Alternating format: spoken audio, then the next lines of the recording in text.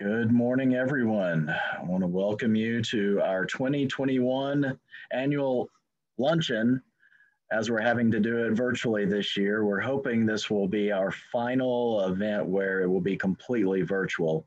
Uh, we appreciate everyone for being a part of this and joining in. I know we're going to have a few people uh, signing on the next few minutes. Uh, we've got a full event today packed with great information, some fantastic speakers.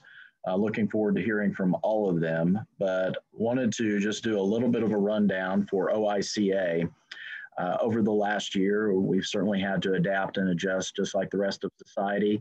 And it, it has been difficult, but I feel like we have managed to do the best we can to be advocates for children, working with lawmakers and policy uh, uh options through different agencies to ensure that kids are still well represented with having a voice at the Capitol and within government.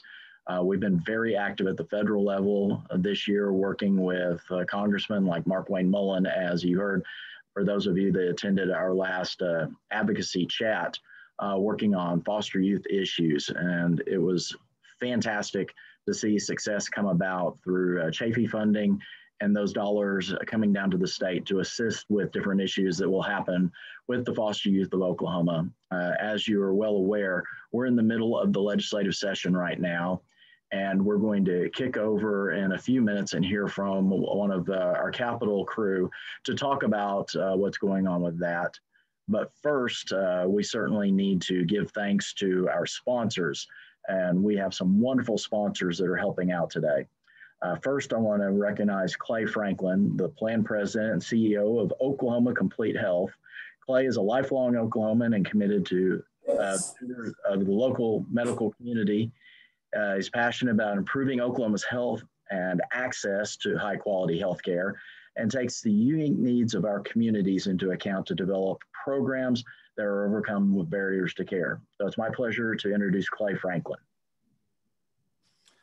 Thank you very much for the introduction and um, hello everybody. Nice to meet you um, virtually. My name is Clay Franklin. I'm the President CEO of Oklahoma Complete Health and we're thrilled to be supporting the Oklahoma Institute of Child Advocacy and your organization, your policies that really advocate to helping protect our children and focus on children, which really is aligned with um, our purpose, our mission of Oklahoma Complete Health, that we transform the lives of members of our community one life at a time you know, having been raised right here in Oklahoma, native Oklahoman, and um, raised by a, a, a, group of school uh, teachers and educators around me, there's always been a focus on um, on children and for advocacy, for education, and um, uh, I'm actually participating later this month in helping them prevent um, um, child abuse and, and for an event to do that. So I've been raised to very much focus on on on our children, knowing that is the future of investment of what we do. And I'm thrilled and just happy to be here um, representing Oklahoma Complete Health. And Mr. Schultz, thank you for the introduction, and I'll hand it back over to you. Clay, we certainly appreciate the partnership and working with you, and we're thankful for all that you're doing for Oklahoma. And so, thank you for helping us out today, and thank you for being a part of the solutions of what we're looking for here in Oklahoma. Thank you, sir. And now it's my pleasure to uh, turn the mic over to one of our, our team members. Uh, I've known Haley Falkenberry for years, uh, going back to our days in politics. And now we both saw the light and moved on to advocacy work. Uh, Haley is uh, basically our lead at the state capitol, working on issues for the Oklahoma Institute for Child Advocacy and helping make sure that those policies that we create through the fall forum and the legislative agenda that we shape is brought to reality through the bills passed by the senators and representatives. And so now I want to turn it over to Haley to give a quick update about the session. Uh, please don't tune over. Uh, the House is still in session right now. Uh, our conversation is going to be uh, much better and probably less stress on, on your blood pressure. So stick around, Haley. It's all yours. oh, thanks, Joe. First of all, can everybody hear me? I always like to check that before I get rattling off. Um, it's always wonderful to get to be on these. You're going to hear a little bit about where we are on some of our priorities that we've talked about a few times. Uh, let's start off with House Bill 1709, which is actually a bill that you've heard me talk about several times this session. We are super excited about this legislation. It's by Representative Brian Hill and Senator Rosino. What it does is it amends the Oklahoma Successful Adulthood Act by allowing services to, continue to the age of 21 as long as the youth is in an out of home placement at the time of their 16th birthday.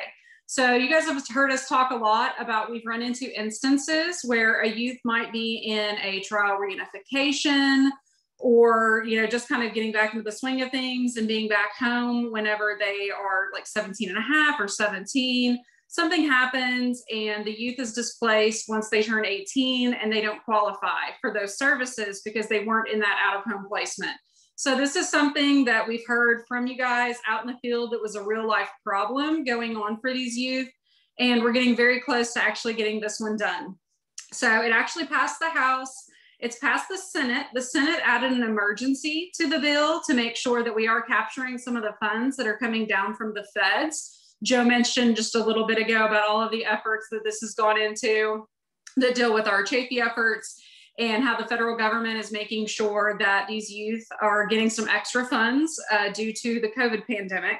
So we are adding an emergency to that. Shout out to Senator Rosino for getting that done. And it is headed back over to the House for acceptance of amendments. So when I say acceptance of amendments, it's only that emergency. We do not foresee any issues with this bill, and hopefully, I'll be reporting back that this bill is actually law pretty soon. So, very excited. Thank you to multiple partners of OICA for working very closely with us on this bill that will uh, be tremendous for our youth transitioning out of foster care. Another bill that I want to mention is House Bill 1799. It's actually by Representative Miller and Senator Rosino again. Um, what it does is it actually permits legal guardians of children with juvenile court records to request expungement, or if a youth turns 18, they can actually request that expungement as well. So obviously we support anything that we can to make sure that those that have, you know, gone through any issues with our legal system can move forward and be successful whenever they are no longer involved with those systems. So we're really, really excited about this one. It's something we worked on with the bill authors as well as our friends over at the, um, the Office of Juvenile Affairs. So very excited about that one. Another one that you guys have heard me talk a million times about. Again, I'm very excited about a lot of things this year, if you can't tell, but um, this one definitely goes in that category. House Bill 1773 by Representative Conley and uh, Senator Garvin. And what it does is it actually requires the study of multi-tiered systems of support for uh, individuals that are in pre-service uh, teacher prep programs. So we all know in the state of Oklahoma, we have very high incidence of ACEs, our adverse childhood experiences, and it's very important that our teachers understand how to work around those behavioral issues that we're seeing in the classroom that we're not looking at methods like suspension and things like that since uh, we have all of those problems in the classroom with those youth. So this is a very positive bill. It's something that I know multiple of you, uh, multiple individuals on this call have actually talked to Representative Conley, Senator Garvin about.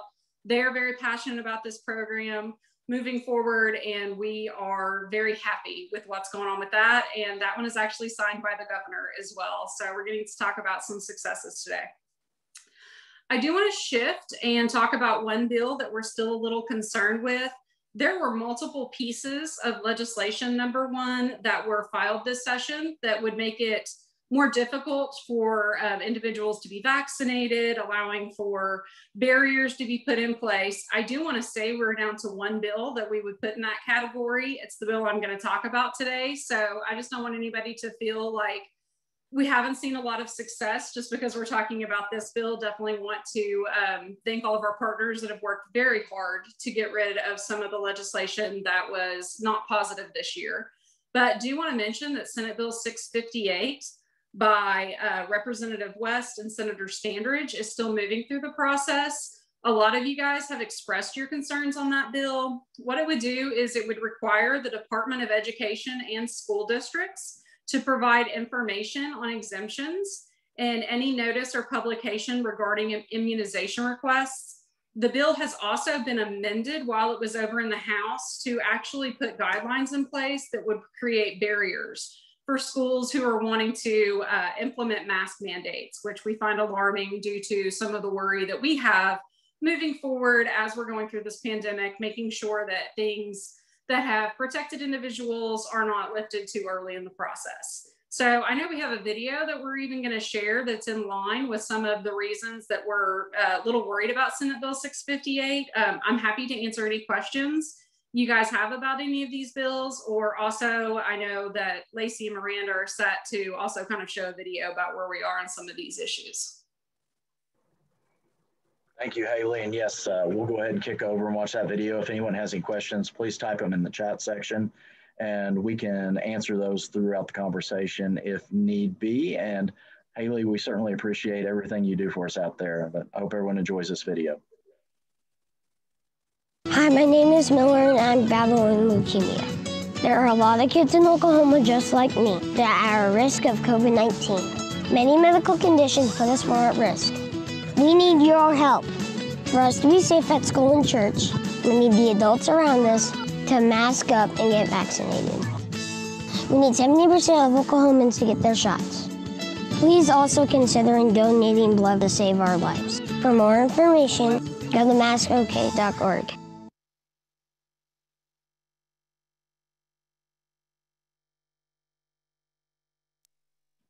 I hope everyone enjoyed that. That was one of the uh, great things that we've been able to do with OICA this year to partner with those collaborative organizations at the end of that video to put together uh, this opportunity to raise awareness. Um, um, our star of that commercial is Miller, who is the son of one of our staff members, and the ordeal that they've gone through.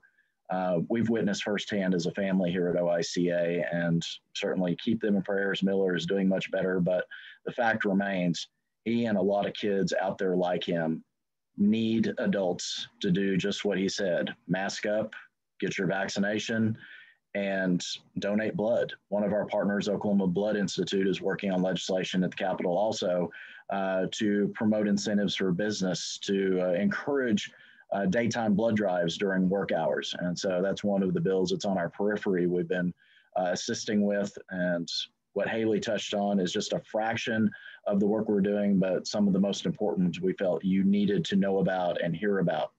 Uh, we're always here to be responsive to any of the questions and comments that you have and to try and work on these issues for kids. We've been around since 1983 and continuing the fight. In fact, one of our board members is sitting here in the office with me, uh, Laura Choate, who is one of the reasons we have the Oklahoma Institute for Child Advocacy. And so we're going to continue to be that voice for Oklahoma's children. And we couldn't do this without our sponsors. And we have another sponsor we want to thank. And it's always a pleasure to have one of our board members speak as well. Uh, former Senator AJ Griffin and I had the chance to serve together and work on a lot of issues together. And having the opportunity to continue that after our terms in the legislature, our sentences in the legislature, as some people would look at it, uh, it's been great to have the chance to work on these issues. And with her employer and the work that Paycom does in Oklahoma, they have been tremendous sponsors of our work. And so, AJ, I want to kick it over to you and thank you very much for everything you've done for OICA. Well, thanks, Joe, and it's good to be here with you guys today as one fellow escapee to another. we escaped the legislature, and today I'm really glad I've escaped and I don't have to watch what's happening in the House. Um, just on behalf of Paycom, um, our 35,000 business clients across the, the country, including over 3,000 nonprofits that we partner with providing HR technology. Um, we're excited to, to sponsor this event. And big thank you to all of you that work hard for for children um, across the, the state of Oklahoma. Also, do you want to give a little plug if you are not familiar with our CEO's Foundation, the Green Shoe Foundation. Um, I, I, I, encourage you to check that out, um, offering mental health supports to adults through an, an intensive um, workshop uh, that allows adults an opportunity to address their past trauma as children. So I always want to make sure that you're aware of the Green Shoe Foundation as well. So it's good to be with you today. Looking forward to the program. Uh, thank you very much. And also thank you. Uh, I mentioned AJ is a board member. Laura is sitting here as a board member. We have a lot of our board members on here. Uh, we as the staff at OICA couldn't do this work without our board of directors. So thank you to each of you for the dedication for children and the time that you put in. We know we pull a lot of hours in your schedule to do the work that we do. And we, we certainly appreciate, we have 24 board members active and working right now. And so we're right there at the max number of what we're allowed to have as far as board members. And we're thankful so many Oklahomans want to be a part of that. And part of the work that we do has changed through the years. Uh, Ann Roberts, I know, is on the call, and Ann, I, I refer to her as my spirit animal. Ann was the executive director here for 20 years. And she's certainly helped me in the early days when I had this job, uh, keeping things going, and through the years being a, a sounding board and she and I've talked about the needs for kids, not just the work we do at the Capitol, not just the legislation, not just the work with agencies, but making sure we have the best opportunities for all children. And when I applied for this job, the board and I discussed options of what we could do to raise awareness about the good work that kids are doing for their peers, uh, the things that Oklahoma's youth are doing to improve the lives of people around them. And with that, we partnered with Sunbeam Family Services a few years ago to create the Kid Governor competition.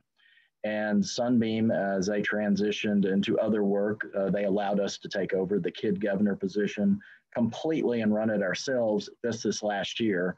And so the first Kid Governor we've had that has been solely working with OICA, and I believe is our fourth Kid Governor, uh, Miss Charlotte Anderson is joining us. Charlotte and I had the opportunity to go to the state capitol this morning and meet some of the folks that she looks up to and is uh, looking forward to working with on her agenda.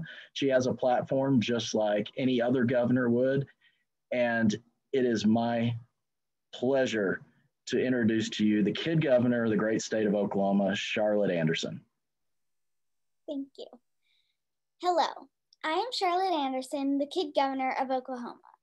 At the Oklahoma City Bombing Memorial, Governor Stitt said, It's okay to disagree on the details and still be friends. I hope you will remember that today as I talk about things that matter to me as kid governor. I want to cover a few topics today involving health. The health of kids is not good for the state of Oklahoma. Neither is anything else, if I'm being honest. But health is the worst. In my campaign speech, I mentioned that Oklahoma ranks 49th out of 50 states for the health of kids. What does that mean? I decided to do research on what it means to have kids with bad health. What I found was that the study included a few things in deciding we were 49th low birth weight babies, no health insurance, kids dying, and kids being overweight or, obese or not being healthy and fit. The first three things us kids can't control. You guys have all the power over taking care of moms so babies are born healthy, making sure we kids can see doctors and get medicine, and keeping us safe. I need you to work on those things. The last thing, kids being healthy and needing to be healthy and fit, is what I want to focus on today. That's because we kids can have some control over our health. But that doesn't mean I'm letting you off the hook. First, you should make sure kids can get healthy foods in their schools, neighborhoods, and homes. Eating impacts kids' health. Kids need vegetables and fruit. Last year, I asked my family and my church to do a vegan challenge for the month of May, where we ate one vegan meal every day. I called it Earth May because eating less meat and dairy helps erase your carbon footprint. It's also healthy. My sister didn't really participate, but that's because she was only three and she loves hot dogs. When I did the vegan challenge, I learned that I loved salads and it made my body feel healthy. I'm doing it again this year.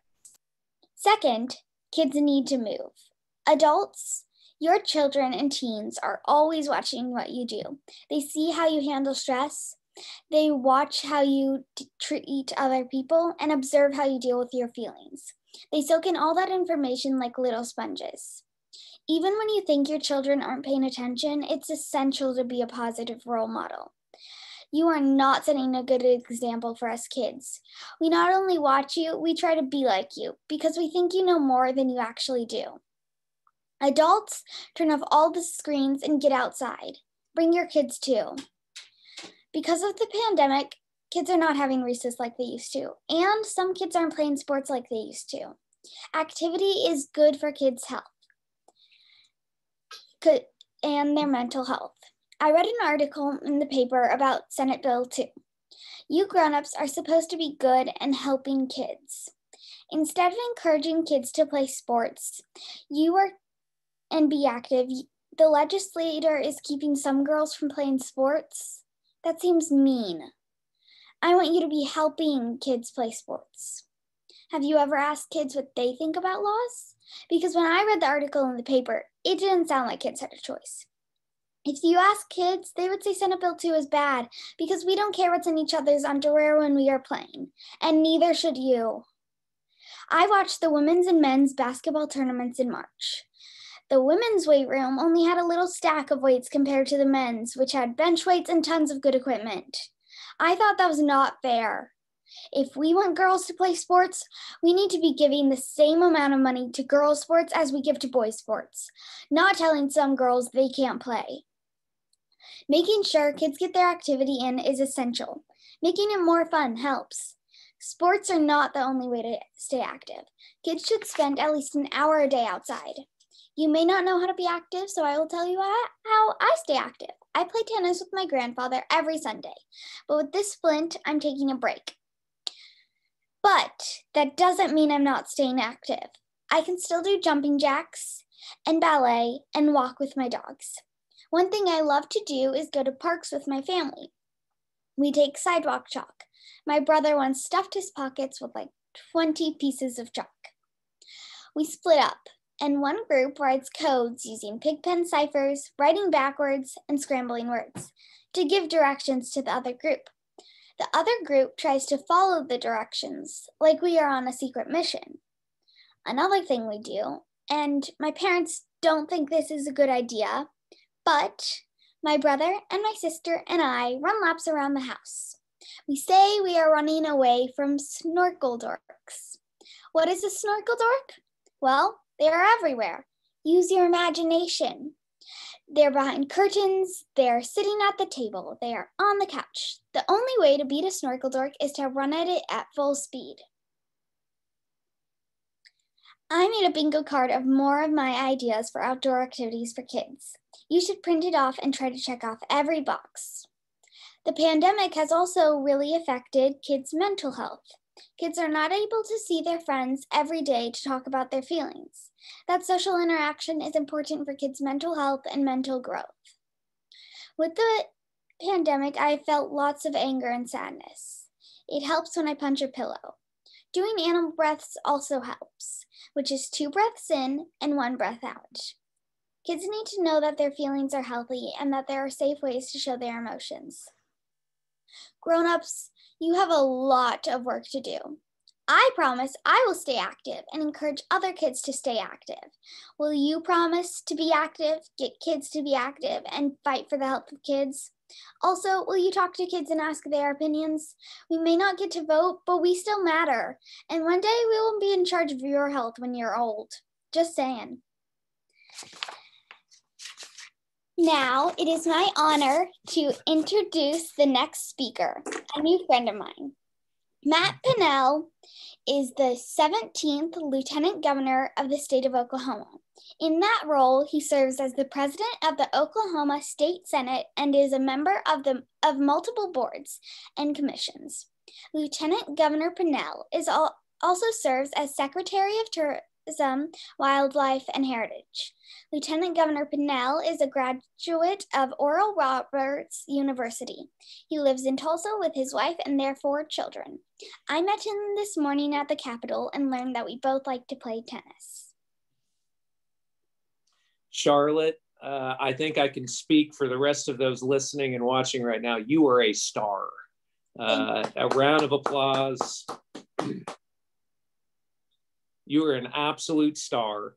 Uh, and you're just getting started. And I am totally fine with you being in charge of my healthcare when I am old.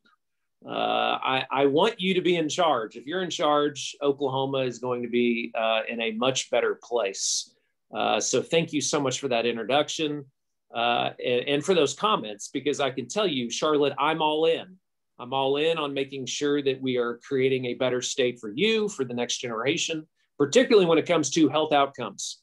and living healthier and, and having a more active uh, lifestyle uh, for our next generations. And I want you to, to see that elected officials inside of this building and across the state of Oklahoma, mayors and city managers are investing uh, in your health and wanting you to be being be able to live uh, healthier lifestyles as well.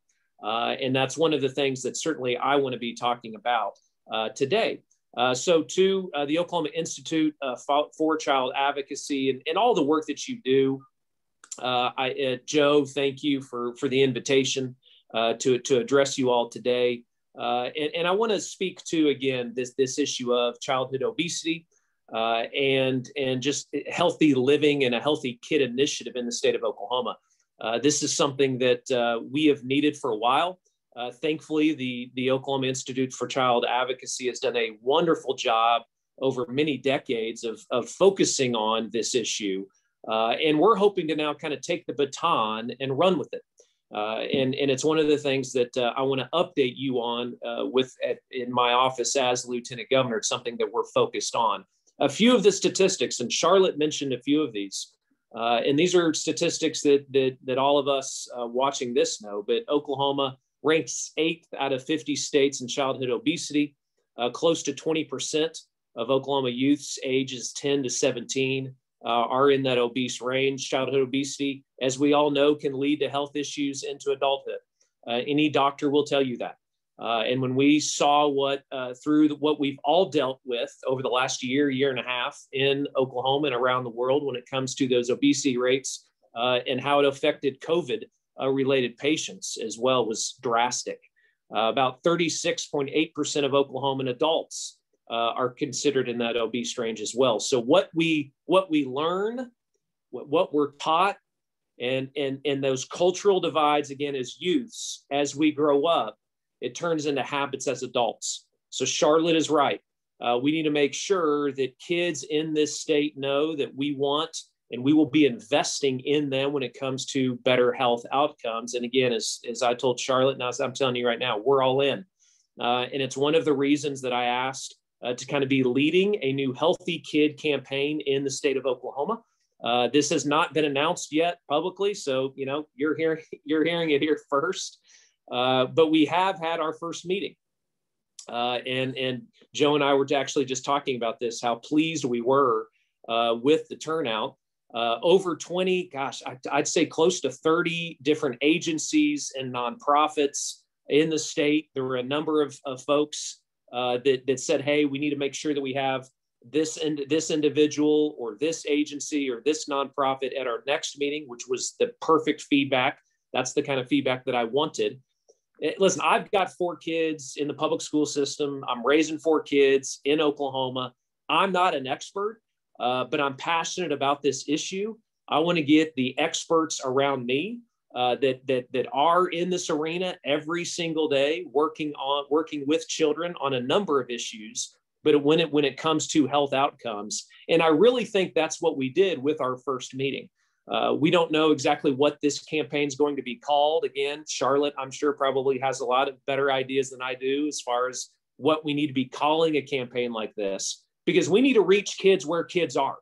Uh, and, and I and I want you to hear that from me and where my heart is on this. I am not creating a healthy, you know, relaunching a healthy kid campaign in the state of Oklahoma uh, to just go through the motions. You know, check a box that that we created another uh, another campaign in the state of Oklahoma. That's the last thing a state government needs or a bureaucracy needs is just creating another program uh, that does not have teeth to it or money behind it uh, or the right individuals behind it as well.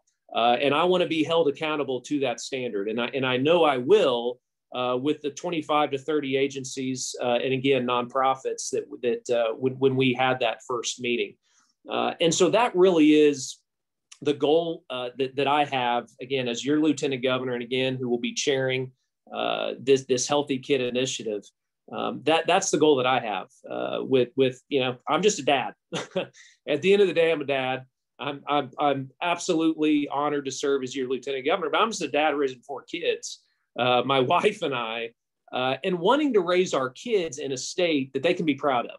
Uh, and, and I think the Charlottes of the world are going to be a whole lot more proud of their state when they see their politicians investing in them uh, and not just empty talk and empty rhetoric, because the next generations can sniff fake coming a long way away. They know when it's just a politician uh, saying something or patting them on the head and saying, hey, you're up to bat next. Uh, Charlotte, you don't vote, but you have more influence than you think you do. Uh, I want you to know that. Uh, the influence that you have, that your generation has, uh, you may not be going to that ballot box, uh, but uh, the power in numbers, again, when it comes to our generations, younger generations that want to make a difference in the state that, again, I hope you want to grow up in uh, and raise your own family in, that's what I'm all in on. And so, this Healthy Kid Initiative, again, along with the Oklahoma Institute for Child Advocacy, I'm extremely excited about uh, for us to be a top 10 state. And please hear me on this. Uh, we can go out, we can create a bunch of jobs, we can fix roads and bridges, we can invest in our public education system. Of course, we need to be doing those things. But if we are not investing in a generation when it comes to healthy living and healthy, healthy lifestyles, then a lot of those things aren't going to be effective. Uh, we've got to do the blocking and tackling first. We got to do the small things well that turn into big things. Uh, and that is making sure that we are living a much healthier lifestyle both with our with with child with children in this state and adults. Uh, and so there will be a whole lot more information to come uh, on uh, again our Healthy Kid initiative that we will be relaunching. Those of you all that are watching right now, uh, if you would like to be a part of this, please reach out to again my Lieutenant Governor office. Uh, everyone that wants to have a voice is going to have a voice in this. Republican, Democrat, Independent. Uh, I want everyone at the at the seat of at the seat of that table. Uh, I lead that way as your lieutenant governor. Uh, these issues should not be partisan. Uh, and I always appreciate, again, the way that, that Joe and, again, his, his leadership and his team uh, and the Oklahoma Institute for Child Advocacy always uh, has operated that way. The issues, not just when we're talking about childhood obesity, but all the different issues that the Oklahoma Institute for Child Advocacy advocates for on behalf of children, should not be partisan issues. and the things that Charlotte talked about. Uh, those are Oklahoma issues. Uh, and for Oklahoma, again, to be the kind of state that Charlotte wants, the kind of state that I want, uh, and the state, the state that I know everyone uh, watching today wants, those are issues that we should rally behind, get behind, and make sure that we can, again, be a top 10 state and start uh, winning deals uh, and, and, and creating more jobs in the state. I think if we do, again, the things that we've just been talking about here in the few short minutes, those things are going to make just as big of a difference uh, as a road or a bridge or some of these other uh, things that we talk about inside of this state capital. So it's a real, again, an honor for me. I, I really uh, am very thankful uh, that you would invite me to, uh, to, to, again, speak to uh, your awards banquet. I hope that we are in person um, in the future.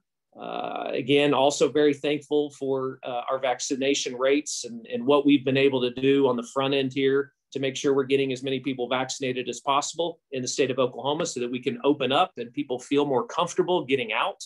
Uh, I assure you, I am pushing that as much as possible.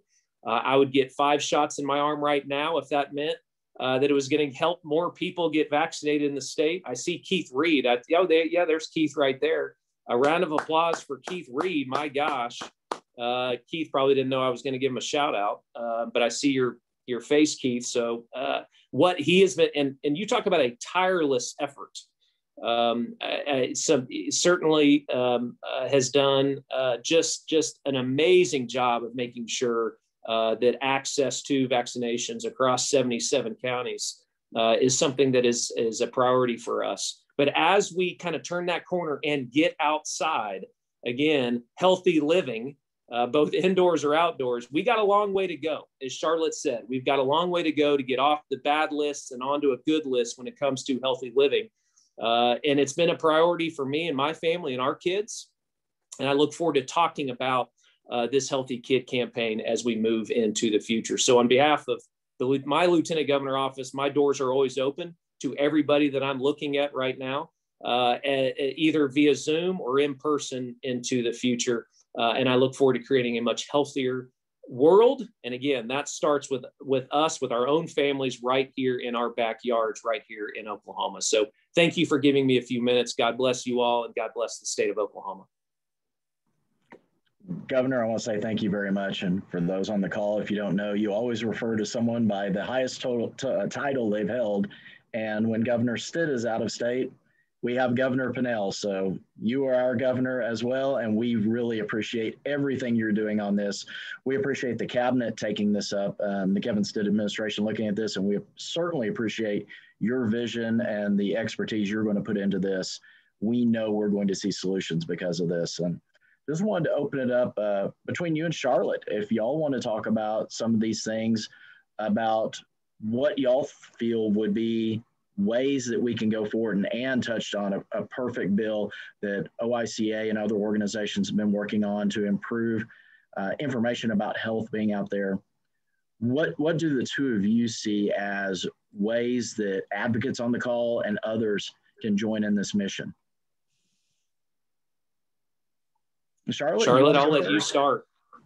Um, encourage kids they know and get other kids to be active and because that affects mental health mental growth everything in health that's good you know uh, joe as we kind of talked about in that in our initial meeting when it comes to as charlotte said encouraging kids to live these these healthier lifestyles it was amazing for me to hear, and again, this was a good thing when I, when I had this meeting to hear what the Department of Health was doing, uh, to hear what the Department of Education was already doing, to hear what the Department of Ag, these these uh, ag ambassadors that go out in the schools.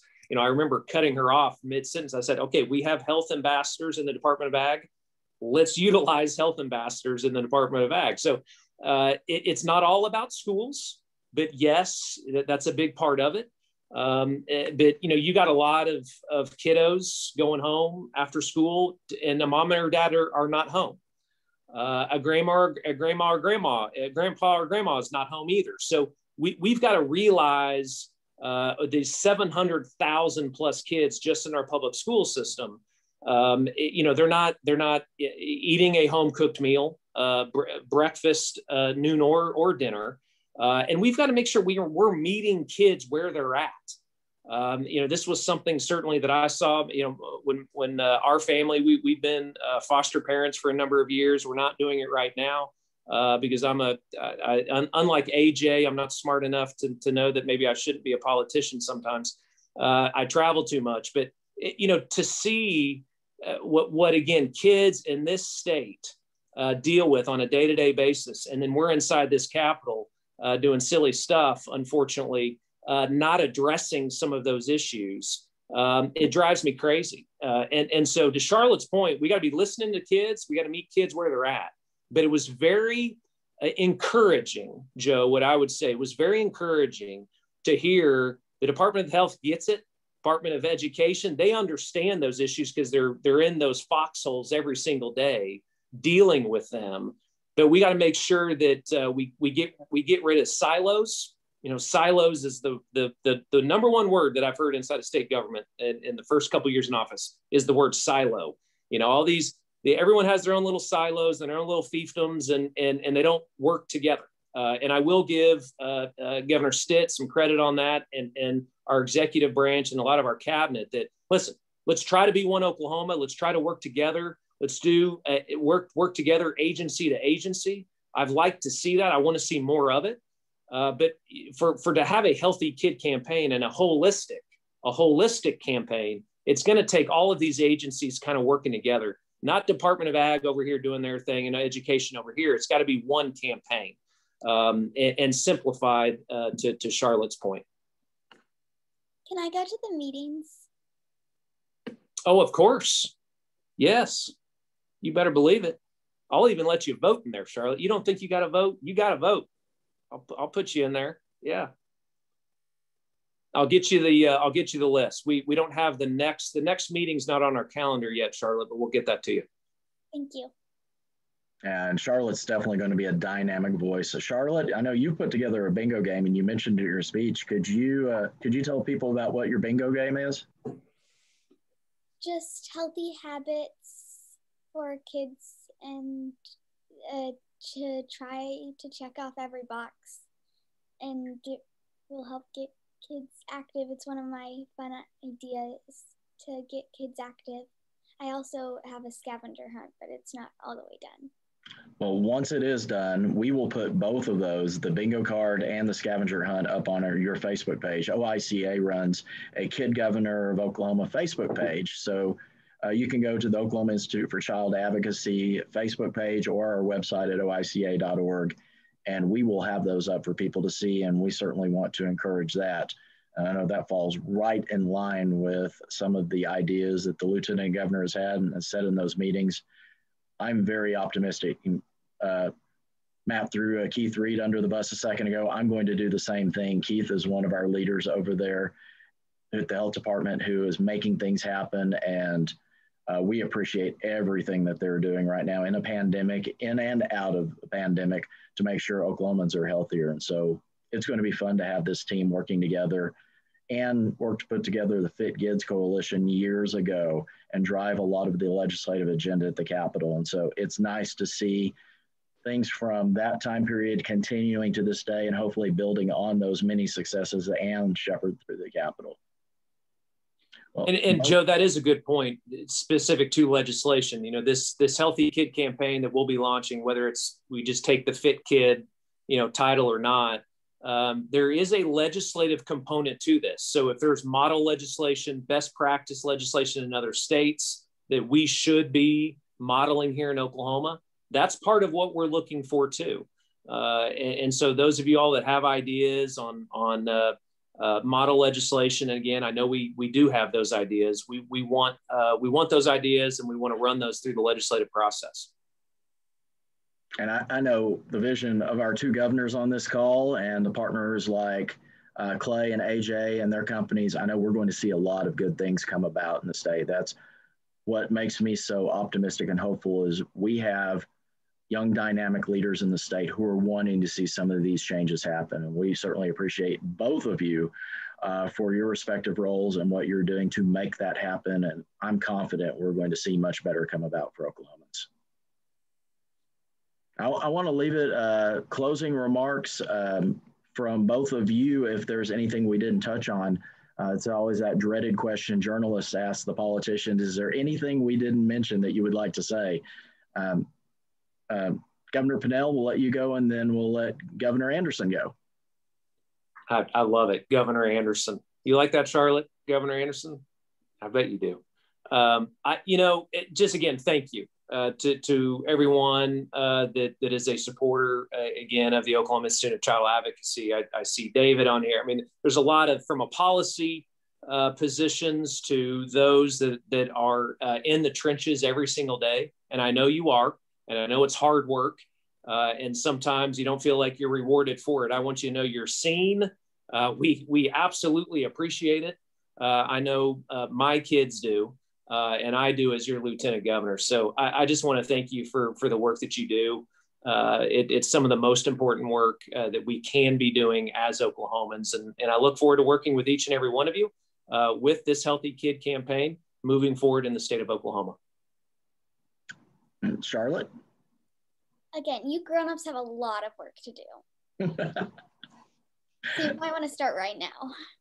Amen and I can tell you it started with the, the group that the lieutenant governor put together, and I'm confident that through your administration, uh, we're going to make some good things happen for kids. And we thank you for being such a strong spokesperson and the willingness you have to serve. And that, that goes especially for you too, Lieutenant Governor Pinnell.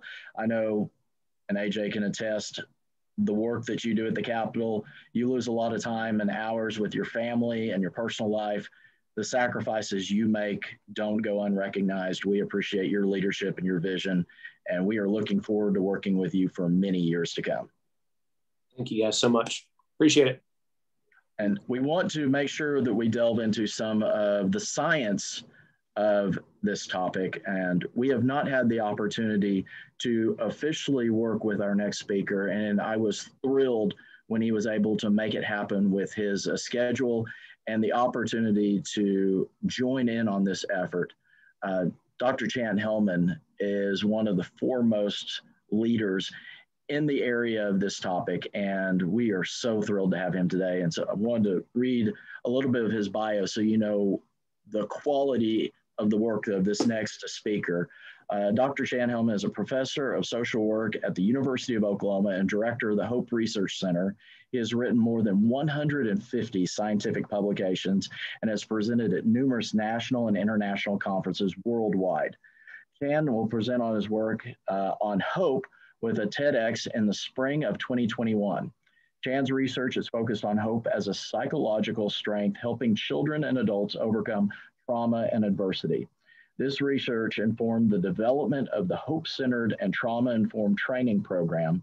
Chan is a co author of the award winning book Hope Rising How the Science of Hope Can Change Your Life, with his co author, Casey Gwinn, published by Morgan James. And as I said, I cannot tell you how thrilled that we are to have Chan with us today and speaking on this topic. Thank you for finding time in your schedule, and I want to turn it over to Chan right now.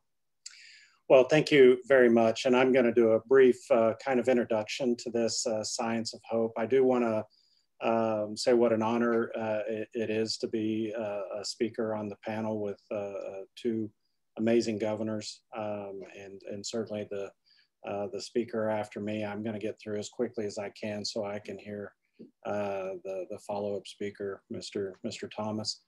Um, I've also been involved in uh, uh, various studies with the health department uh, on childhood obesity. And the conversation that I want to have today is really begin to think about uh, this language or this idea and the science of hope as a potential um, uh, overarching uh, framework that provides a common language across these various silos that uh, Governor Pinnell uh, discussed, that it provides this opportunity for a common language that creates a sort of a collective framework to begin to work together uh, on these on these issues. So real quickly, I'll go through um, a, a, brief PowerPoint. Uh, I, I am a professor, um, so I have to have a PowerPoint, and I would also say that being asked to speak for less than three hours is fairly uncivilized, but I'll, I'll try to try to navigate through this uh, this adversity that is that is before me. So again, thank you for for that. Um, I will tell you that as I've been uh, evaluating uh, outcomes and impacts of programs, uh, again on children and families, what I will tell you is that historically, uh, we have been focused on using the question of what is wrong with individuals uh, with the basic framework that if we can reduce the adversity that individuals are experiencing, children, adults, and families, that that is historically how we treat well-being. Um, that is, if we can reduce depression, anxiety, etc., uh, that those are the ways that we typically measure the success and outcomes of these types of programs. And so what I want to want to focus on is really shifting that conversation from the idea of potentially what is the adversity to really focusing on a more strengths-based focus of identifying these things that are, are right with individuals. Now, we all know that Oklahoma ranks really high in exposure to uh, childhood adversity uh, in the state of Oklahoma. And we know that that research uh, is really grounded into long-term outcomes such as obesity and other risk types of behaviors. Um, and so just for from a framework of thinking about uh, that childhood adversity, Dr. Vince Felitti, one of the original authors of ACE, uh, endorses this idea of the science of hope uh, as a framework to begin to uh, move together at a more system level so I'm gonna uh, maybe ask you to engage with me just a little bit.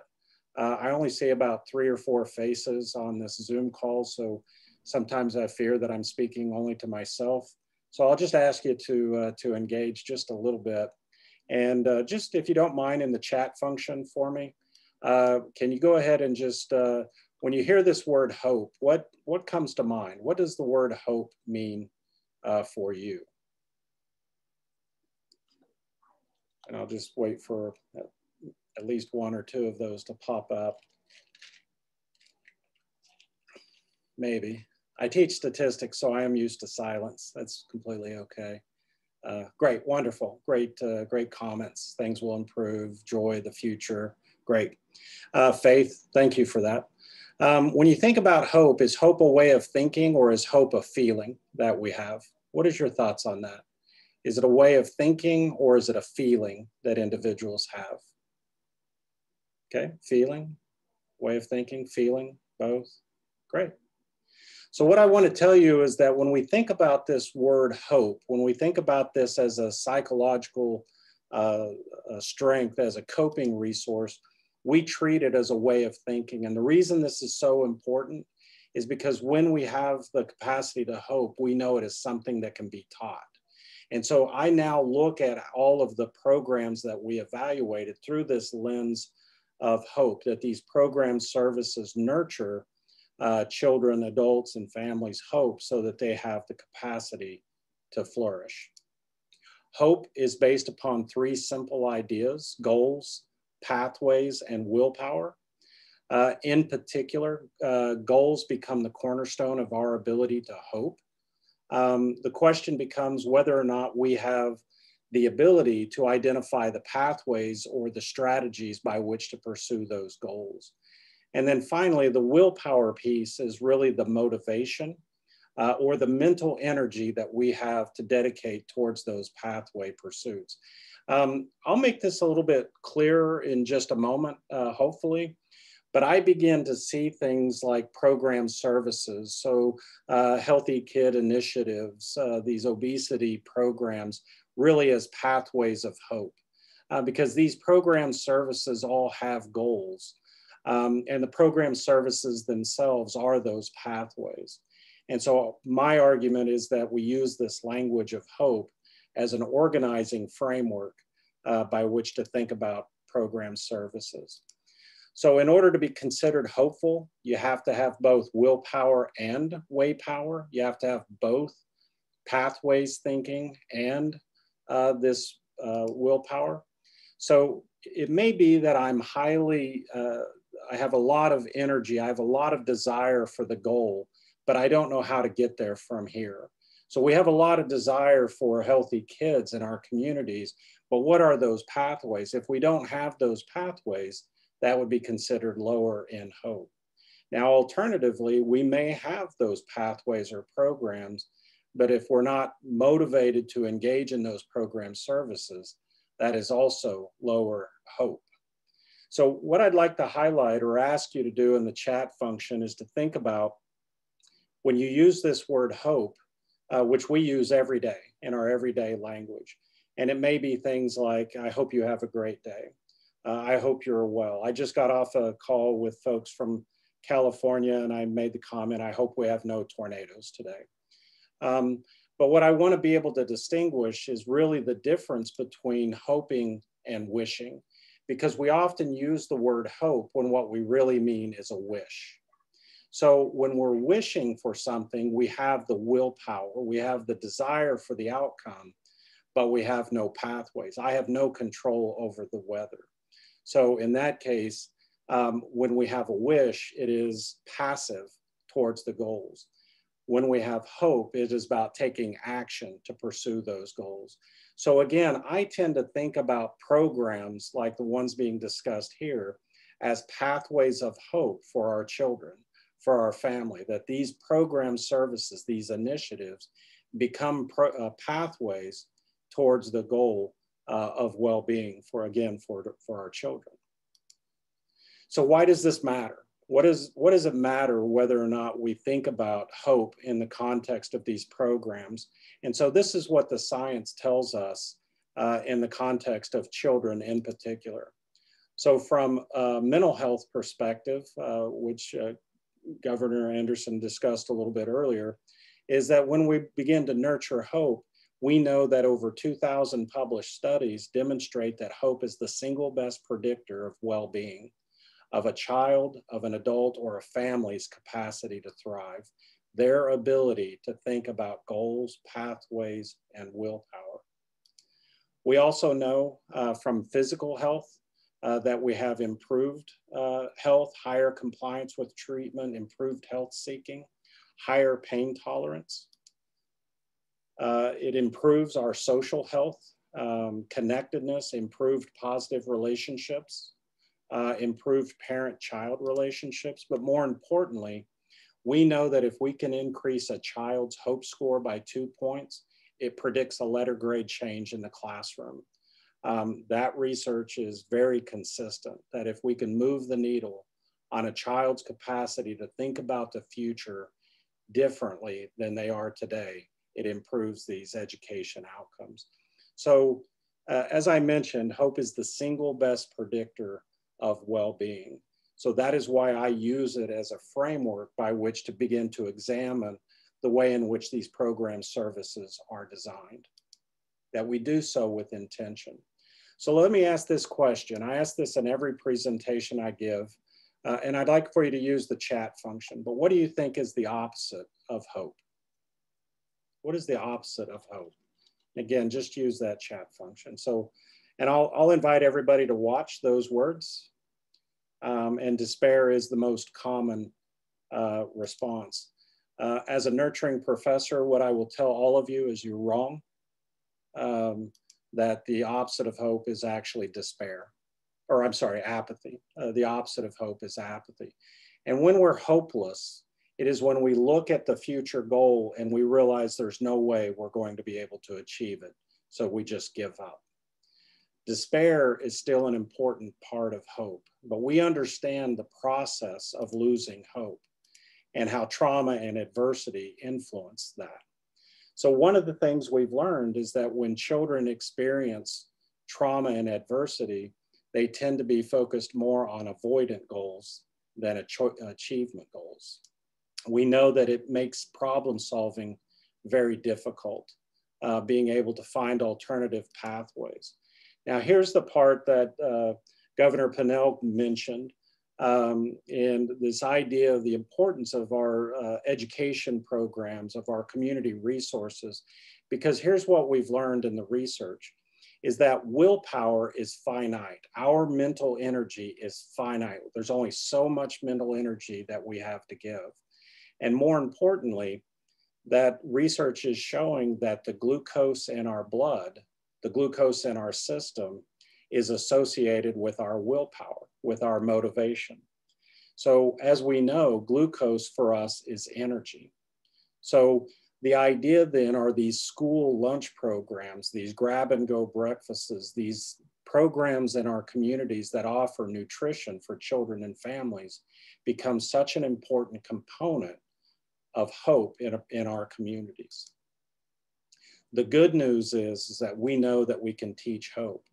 Our research shows that we can see a statistically significant increase in a child's hope scores in one hour or less with very intentional programs of goal setting and pathways development we know how to do this process. And I believe that your program is a pathway of hope. We know how to set these goals and to find those viable pathways by which to achieve that. So, again, for me, I think about hope as an overarching lens by which to see how to begin to implement these programs. And more importantly, what some of the important metrics would be to measure success.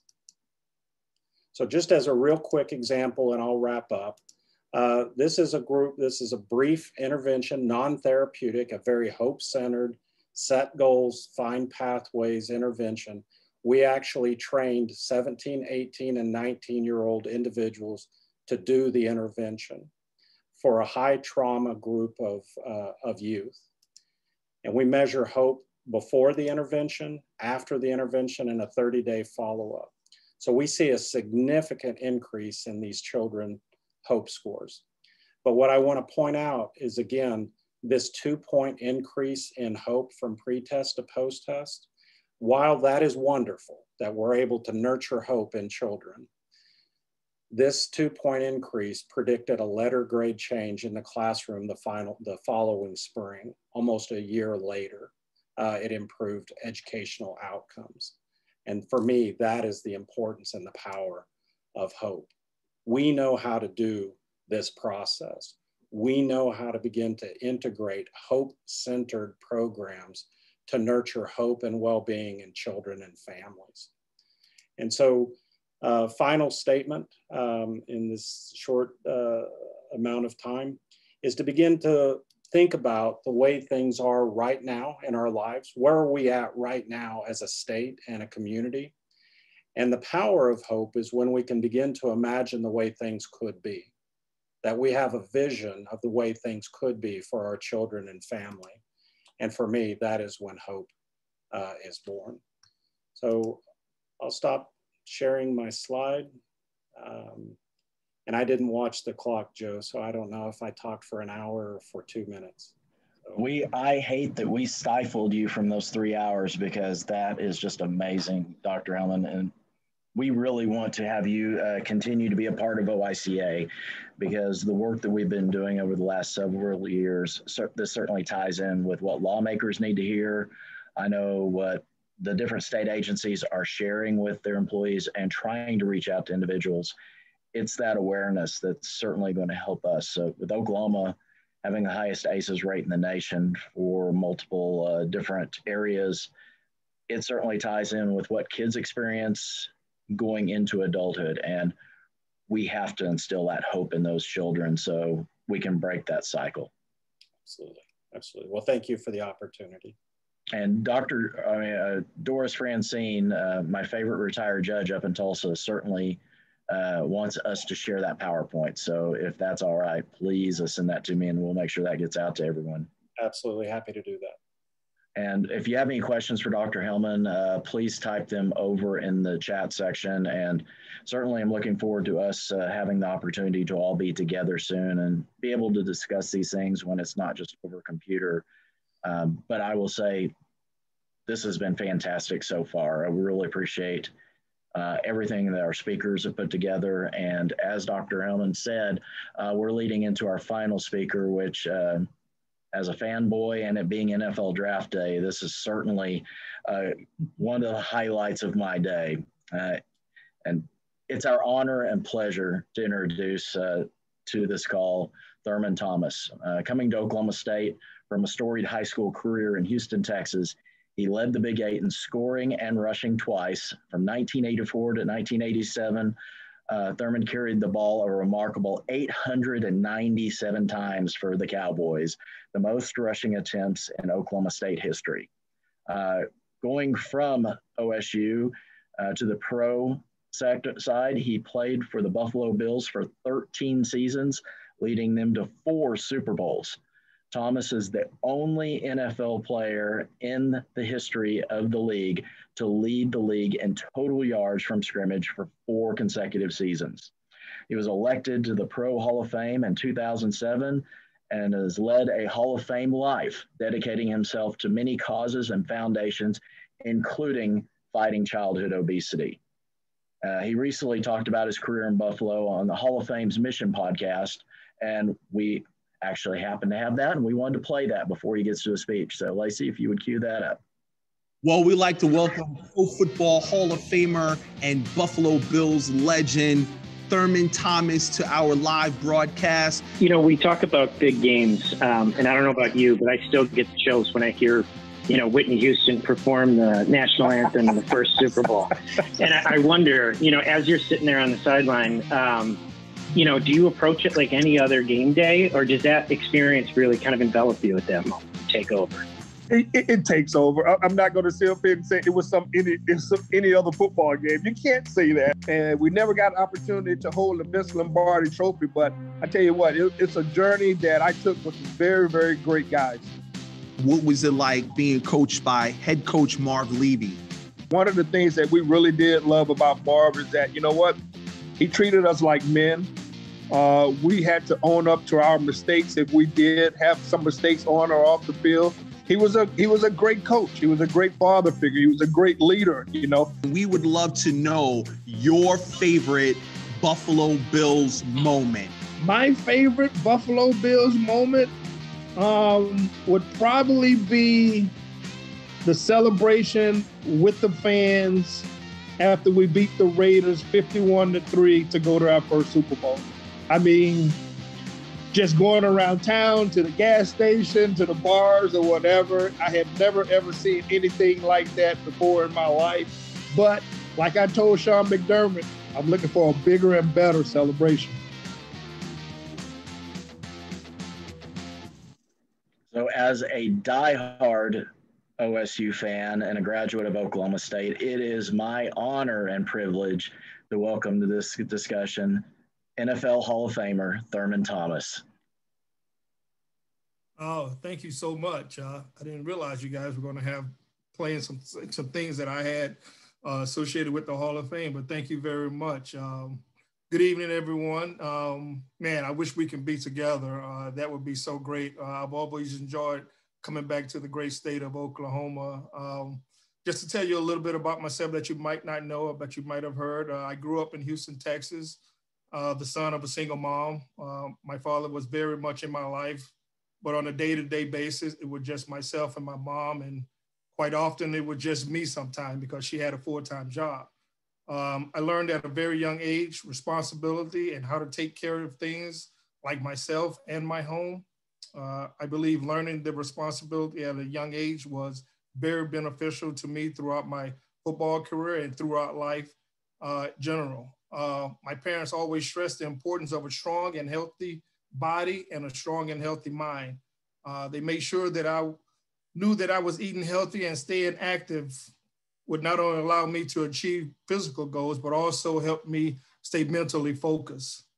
Um, like others on this call, Charlotte, you did an absolutely great job. Uh, your message was very, very strong, uh, encouraging us to do more, to get youth to be more engaged in outdoor activities.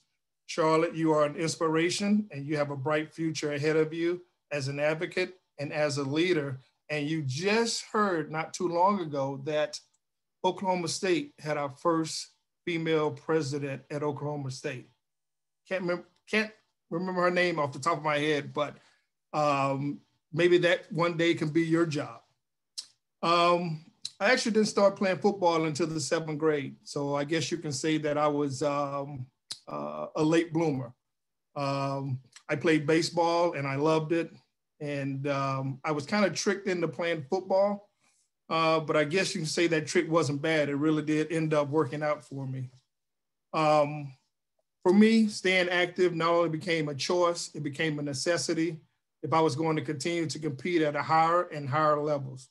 I remember back then, kids were basically on their own when it came to getting physical activity and eating right. It wasn't that our caregivers and our school faculty didn't care about our health. It was because we didn't know the knowledge, uh, the programs and access information that we have today.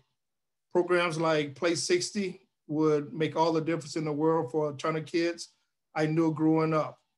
A lot of these kids didn't have parents, coaches, teachers to encourage them monitor their nutrition or their activity. Fortunate for me, I had a great uh, family support. My dad and my uncle really saw in me what um, what a lot of other people, I guess, would see is that I had the ability not only to be a great football player, but I also had the ability to uh, bring people together. Um, for my high school career, I was the captain of the football team for four years in a row. And at Oklahoma State, I was a captain for three years in a row. And uh, so my leadership abilities were really taken over. And, and it really started when I was in high school because I knew a lot of kids, you know, like I said, they didn't have parents, they didn't have the coaches, they didn't have that support system.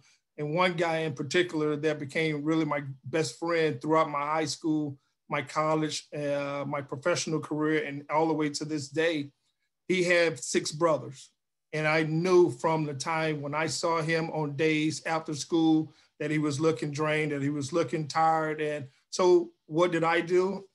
Being an only child, I knew that my family, my mom could really cook a meal. And so I invited that kid over to my house a number of times, not only for one year, but for four years that I was in high school. And it really meant the world to him. And uh, I just got a note from him about two weeks ago saying that we just had our fifth kid and all of are boys. And I just remember how I felt back then when I didn't have a lot of stuff on the table to eat that you uh, brought me into your home and really and, and, took care of me on some days and he really appreciate that and and now he's trying to do the same thing uh, in Texas and uh, I really appreciate him he's been a been a great friend throughout um, I was fortunate enough to earn all-American honors at Oklahoma State University and a candidate for the Heisman Trophy my senior year my professional career included 13 seasons being part of a team that went to four Super Bowl appearances unfortunately we didn't win any one I know there might be some Cowboy fans on here, so just be quiet. Don't talk about it.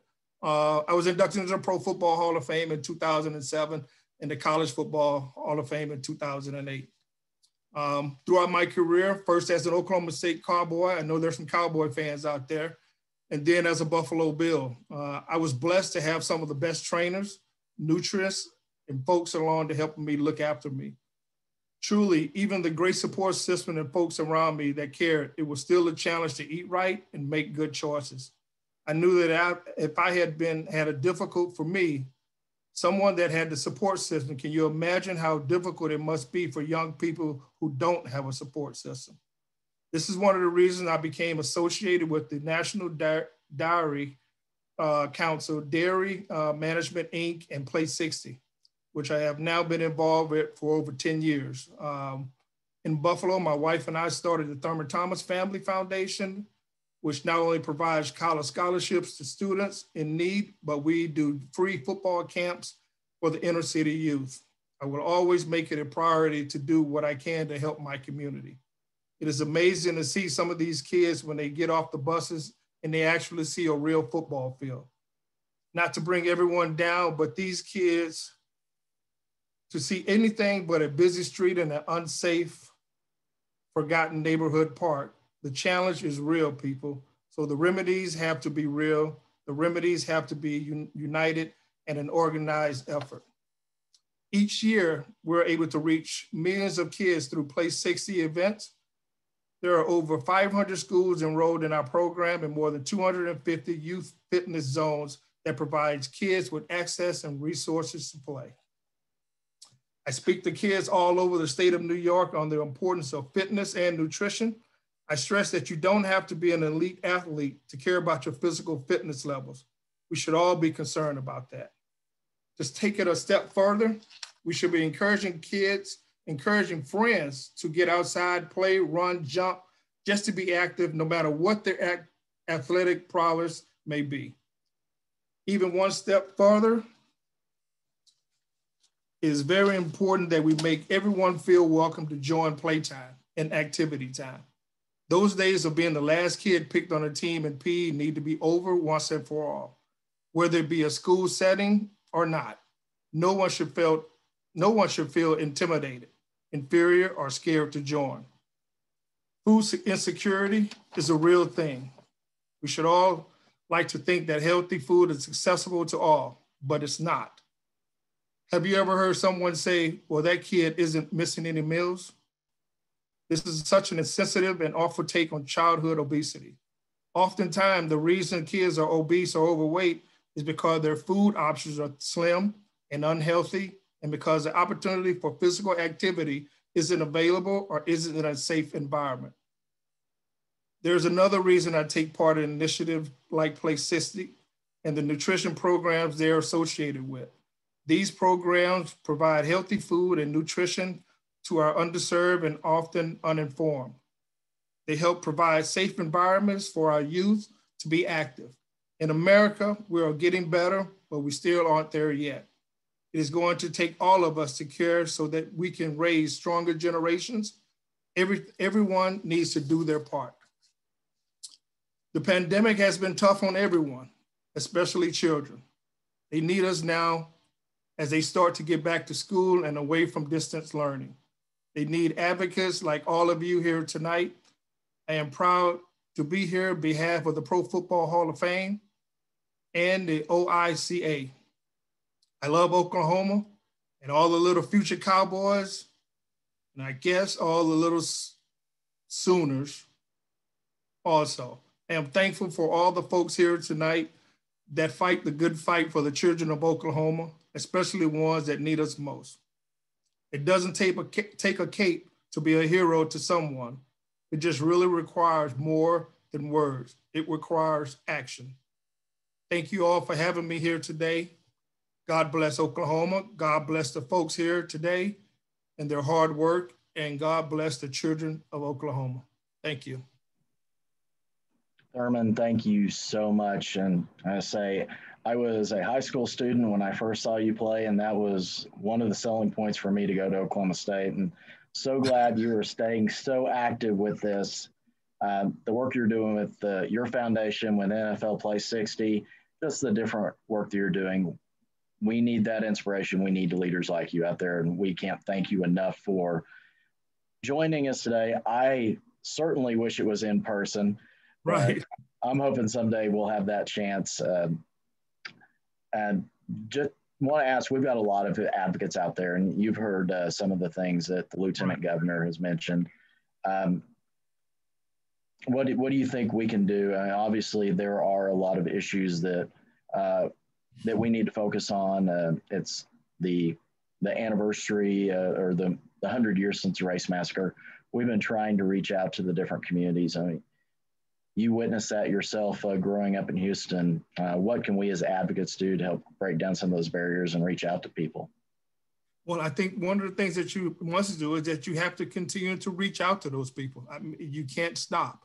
Uh, I think you have to go forward. You have to do whatever you possibly can to get people, because I know there are a lot of people out there that are really hesitant about getting involved in a lot of different things. But you, we can only do so much, and we can only say so much. And uh, but those actions will speak louder when we continue to grow and we continue to get the word out. Uh, you know, I've Oklahoma is like another home to me. I, am willing to do whatever we can, and once we can all get together, uh, you know, I love to come back there and share my thoughts and share uh, and, and, listen to what you guys are doing in the state of Oklahoma. Uh, like I said, it, it, it's home for me, and uh, I'm willing to do whatever I can to help anybody. You know, that's one of the things that my mom taught me uh, growing up is that you know what she always talks about when we go places and stuff, like you know, you should really be happy that people know your name. They know who you are. They know what you accomplished in life because she said one day it's going to be over. And I don't want you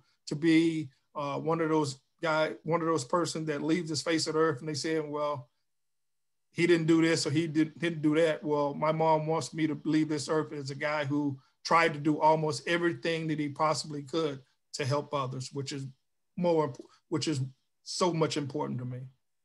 Well, I can attest to that. Uh, going beyond having your name on the, the ring up there in Stillwater, uh, just the legacy you've left so far has been tremendous. And we know you're living up to that expectation. And we can't thank you enough for all you do. And, and I'll just leave it. If you have any closing remarks, uh, uh it's all yours.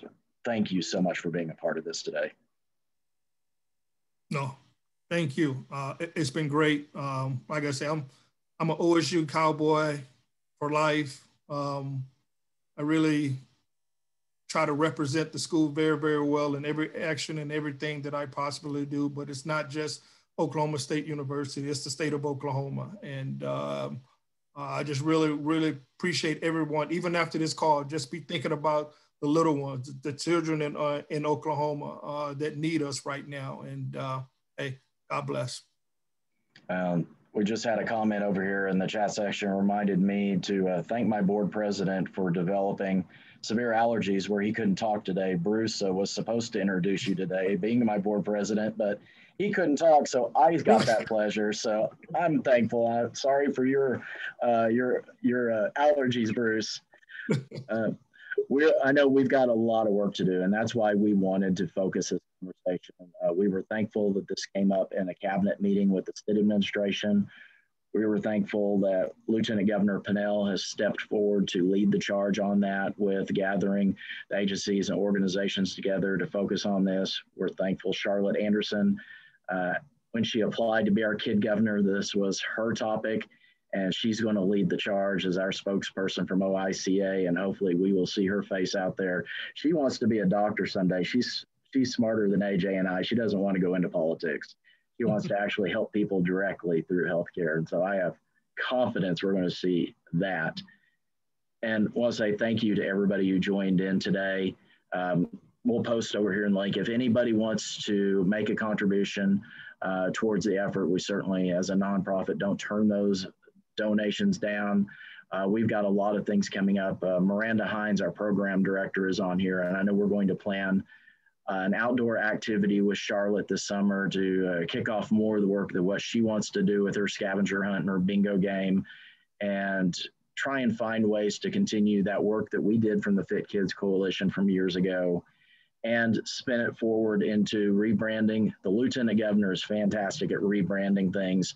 We've seen that with here in Oklahoma, and we'll see what happens as far as going forward with this initiative and under his leadership. Uh, we've got a lot of wonderful people out there like Chan Hellman who are putting the science and the data behind this conversation to help us make those arguments.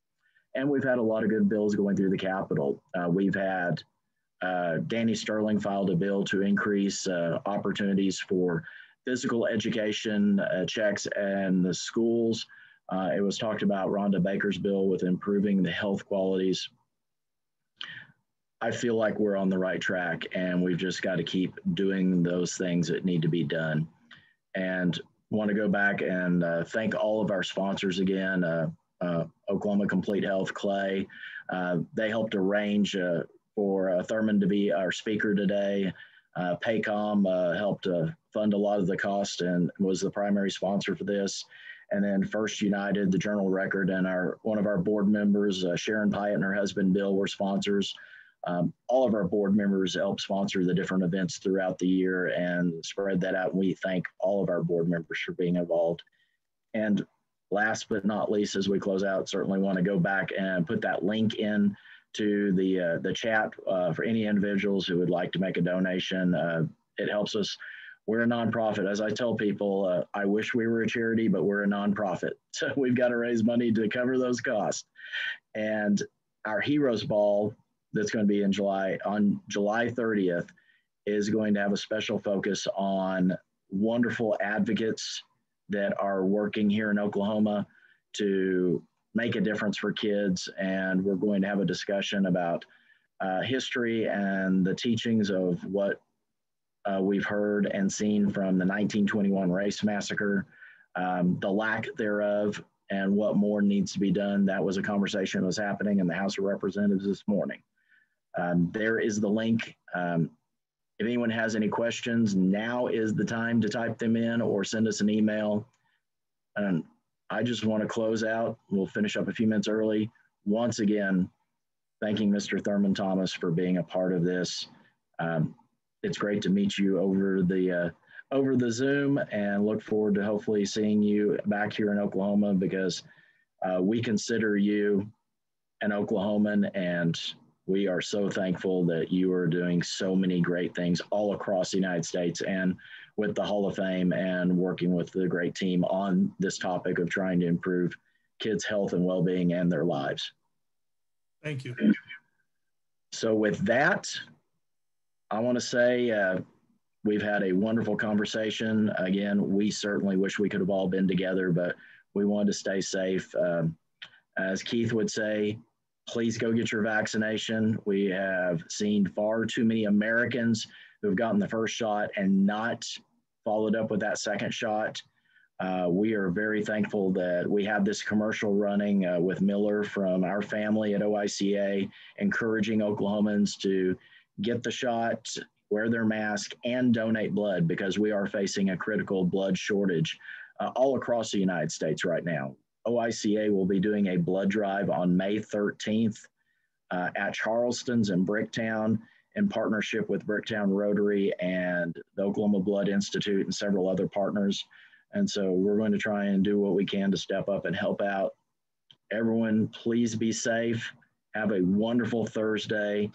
And with apologies to my Sooner friends, go Pokes. Thank you all for being here.